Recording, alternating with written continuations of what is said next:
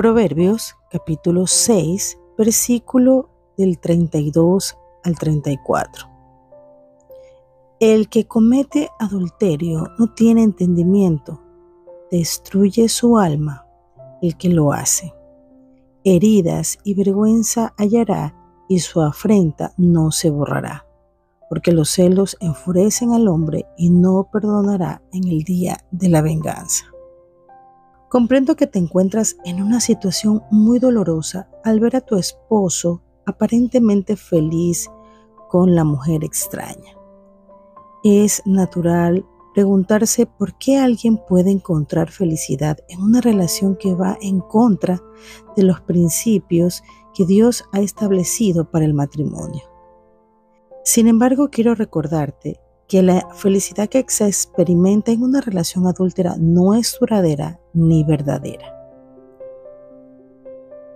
La felicidad basada en acciones pecaminosas y en la satisfacción de deseos carnales es efímera y superficial. El Señor nos muestra que la verdadera felicidad se encuentra en una relación íntima y fiel, tanto con Dios como con tu pareja y vivir de acuerdo con los mandamientos del Señor. El pecado, incluyendo el adulterio, puede traer placer temporal, pero siempre conlleva consecuencias negativas y destructivas. Estas relaciones extramaritales están basadas en el engaño, en las mentiras y la vanidad. No están sustentadas en el amor genuino en el respeto y el compromiso que deben existir en un matrimonio. Tu esposo está experimentando una especie de satisfacción superficial en su relación adúltera, pero te aseguro que esa alegría no será duradera.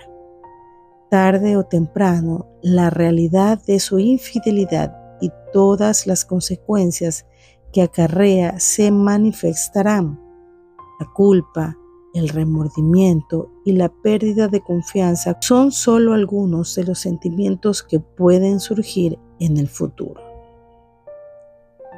Mientras tanto, tú tienes la oportunidad de crecer y de buscar la verdadera felicidad en Dios. Aunque puede parecer difícil en este momento, te insto a que busques el refugio del amor incondicional y la paz interior que solo podamos encontrar en nuestro Señor Jesucristo. Déjalo que te consuele y te guíe mientras atraviesas este valle oscuro. Recuerda que el libre albedrío es un don que Dios dio a los seres humanos, pero lamentablemente es posible que algunos lo utilicen de forma incorrecta. Sin embargo, eso no invalida el amor y el deseo de restaurar de parte de Dios tu relación, de sanar tu matrimonio y aquellos a los cuales se ha desviado de su propio camino. Continúa orando fervientemente por la transformación y restauración de tu esposo. La gracia de Dios es suficiente para cambiar los corazones y conducir a las personas al arrepentimiento. Confía en el Señor y permite que su voluntad se manifieste en tu vida y la de tu esposo. Gálatas capítulo 6, versículo 7 dice, no nos engañéis, Dios no puede ser burlado, pues todo lo que el hombre sembrare, eso también segará. Confía en el plan perfecto de Dios y recuerda que la felicidad verdadera se encuentra en la alineación con la voluntad del Señor. Mantén tu fe en Dios, permanece firme en su amor y confía en que encontrarás la paz y la alegría más allá de lo que puedas imaginar. Oremos. Amado Padre Celestial, en este momento de dolor y confusión, elevo mi corazón hacia ti en busca de consuelo y fortaleza. Te ruego que me ayudes a no mirar la supuesta felicidad de mi esposo con su amante. Permíteme alejar mis ojos de esa situación y enfocarme en tu amor y en tu guía. Señor, reconozco que solo tú tienes el poder de transformar los corazones y restaurar las relaciones rotas. Te pido que trabajes en la vida de mi esposo, abriendo sus ojos a la verdad y al daño que está causando con su infidelidad.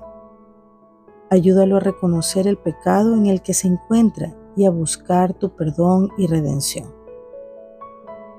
Te imploro, Padre Celestial, que me des la fortaleza para superar el dolor y la tristeza que esta situación ha traído a mi vida.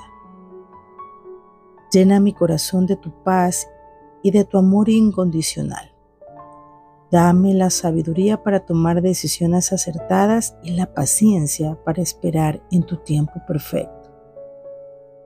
Ayúdame a encontrar mi verdadera felicidad en ti, Señor. Que mi relación contigo sea lo que llene mi corazón y me haga sentir completa. Ayúdame a confiar en que tú tienes un propósito para mi vida, incluso en medio de esta prueba.